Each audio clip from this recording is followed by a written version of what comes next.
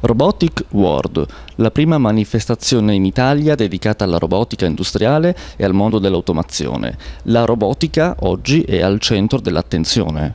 Sì, al centro dell'attenzione eh, nel mondo e in Italia, perché l'Italia e Torino e il Piemonte in particolare sono state, sono e saranno uno dei, dei, dei, dei luoghi più importanti al mondo per lo sviluppo della robotica. Noi abbiamo un'esperienza eh, antichissima, eh, all'inizio degli anni 70, alla fine degli anni 60. Nel territorio italiano ci sono stati molti imprenditori, molti ingegneri, molti tecnici che hanno sviluppato la robotica, la meccatronica e l'automazione in generale. È un punto di forza della nostra economia e direi della nostra cultura. Ecco, quindi questo tipo di tecnologia nasce a Torino?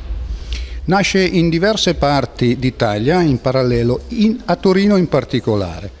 Perché a Torino? Perché a Torino già negli anni 70 c'erano diverse aziende con diverse esperienze, eh, brave nella meccanica, nel software, già a quei tempi, nell'elettronica. L'unione di queste tre cose fa la meccatronica, fa la robotica, fa l'automazione. Noi abbiamo il dovere di preservare questa cultura così antica, direi, e di eh, proiettarla nel, nel futuro salvaguardando quel, quelli che sono i nostri, mh, il nostro know-how.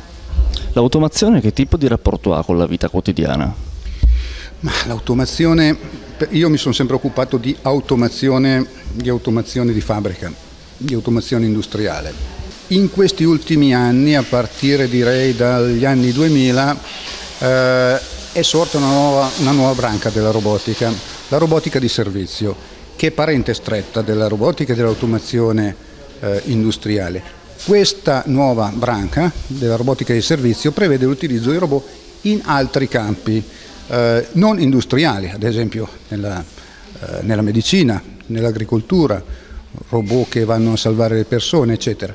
C'è una miriade di sottosegmenti dove eh, robot, meccatronica e automazione utilizzati, sono utilizzati e saranno utilizzati. Quanto è importante investire in, in questa disciplina? Enormemente. Primo, fa parte del nostro patrimonio culturale, non tecnico, culturale. In secondo luogo, noi non dobbiamo competere eh, sul costo del lavoro, noi dobbiamo competere con l'innovazione.